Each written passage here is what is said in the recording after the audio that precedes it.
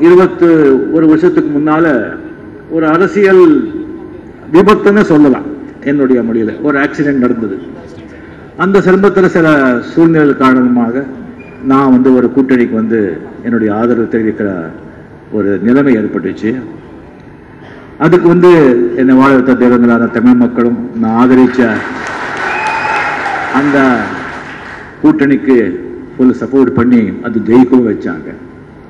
அப்போதிருந்து என்னுடைய பேர் அரசியலில் வந்து ஈடுபட்ட அரசியல் வந்து அடிபட ஆரம்பிச்சிடுச்சு. என்னுடைய ரசிகர்கள்லையும் சில பேர் அரசியலில் ரொம்ப ஆர்வமாக ஈடு ஈடுபட்டுட்டாங்க. இந்த நைன்டி எயிட் சிக்ஸ் அந்த டயத்தில் சில அரசியல்வாதிங்க அவங்கள பயன்படுத்திக்கிட்டாங்க. இவங்களும் அவங்கள பயன்படுத்திட்டாங்க சில பேர். அதில் வந்து நிறைய பணம் கூட பார்த்துட்டாங்க. அந்த பூனை ருசி கண்ட மாதிரி அந்த ருசி அவங்களுக்கு தெரிஞ்சு போச்சு. அதை பார்த்த பிறகு அடுத்தடுத்த எலெக்ஷன் வரும்போது இவங்களும் அவங்கக்கிட்ட வந்து நாடுறது அவங்க இவங்கள நாடுறது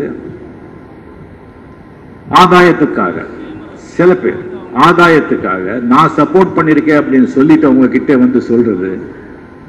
அதுக்காக நான் வந்து ஒவ்வொரு எலெக்ஷன் வரும்போதும் என்னுடைய ஆதரவு யாருக்கும் இல்லை அப்படின்ற சூழ்நிலைக்கு நான் தள்ளப்படுறேன்.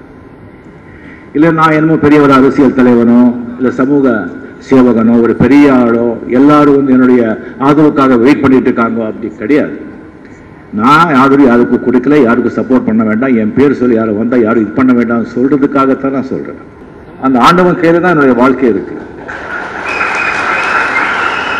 இந்த உடம்பு நான் சுத்தமா வச்சுக்கணும் ஆரோக்கியமா வச்சுக்கணும் இதயத்தை தூய்மையா வச்சுக்கணும்.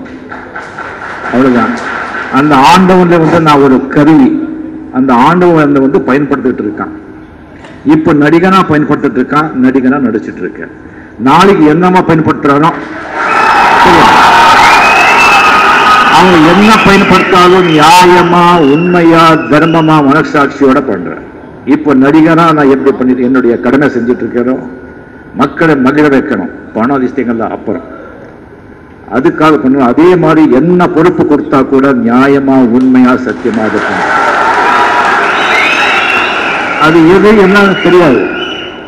அது கால கடவுள் கையில் தான் இருக்கு. எல்லாரும் கடவுள் நம்ம மூலமா எல்லாமே கடவுள் தான் இது பண்ணிட்டு இருக்கான்.